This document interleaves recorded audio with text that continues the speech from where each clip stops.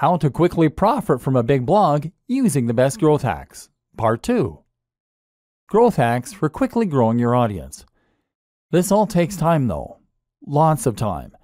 And this training is all about making money and being successful at internet marketing in the shortest possible amount of time. So, if you want to accelerate your progress and start growing your audience even faster, what do you need to do? One answer is to use growth hacks.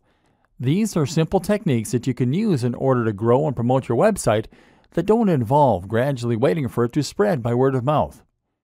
One of the very most powerful and popular examples is to use something called influencer marketing. Simply, influencer marketing means that you're going to leverage the power of an existing influencer, someone who already has a lot of sway and a big audience in the same niche or a related niche. If you could find a YouTuber who has 500,000 views on every single video, then all you need to do is to message them and get them to mention your website or blog in their next video. If you can get them to do this, then you can potentially generate hundreds of thousands of visits to your website that very day. This can transform the success of your business overnight. Of course, the hard part of influencer marketing is finding the influencers and then convincing them that they should promote you.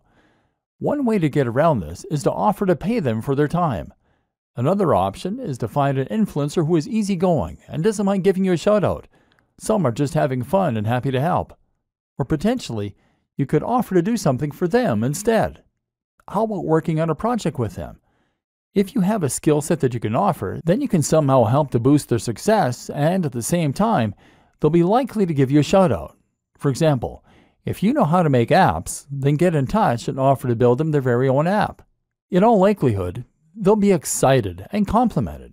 And as such, they'll promote the app, which you can then split the revenue for 50 50. If you struggle to get an influencer to listen, then one great strategy is simply to hire them for something. If you can find an influencer who offers any kind of consultation or who sells a product, then order that from them, and they will be obligated to respond to you. Yet another great option is to meet them in person. Once you've actually made contact in one of these ways, then you'll likely find that they're much more inclined to listen and to help you out. It's all about building genuine relationships and connections. Another good option for a growth hack is just to find that perfect route to market. And often, if you can create the perfect blog post and promote it in the perfect location, then you'll find that you can get a huge influx of traffic from just a single link. The key is to make your post interesting and unique enough that anyone in a certain subreddit or forum will be sure to want to read it. If you can do this well, then you can generate thousands of clicks, and several of those might be interested to subscribe to your feed or maybe even to order a product there and then. Your super fast guide to SEO. This would not be a training on internet marketing, though, if we didn't at least touch on SEO. SEO is search engine optimization which for all intents and purposes really means Google optimization. The idea behind this is that you're making changes to your website and creating links to your website, and in this way, you're going to make your site more likely to show up in the search results when someone looks for something related on Google. Unfortunately, this is not a particularly quick tool when it comes to marketing your site. SEO takes a lot of time, and there is never any guarantee that it is going to be effective. You can put a lot of effort in and still find that it doesn't work. But if you create a systemized approach for your SEO, then you can find ways to speed up the process. For example, by making a new post once a week or even by outsourcing the process. Essentially, Google works by looking for content that matches the search terms that people are looking for. When someone searches for a specific phrase, Google looks for the content in its index and then shows them the sites with the most relevant content. In order to add new sites to that index, Google uses spiders, programs that crawl the web by following links. Google also looks at each link as a testimonial, and the better the site that links to you, the more weight that testimony has. Your aim, then, is to fill your site with high quality content that Google will see as being relevant, and it is to get the most important and biggest sites to link to you. Once again, this often means working with influencers. Don't try to trick Google.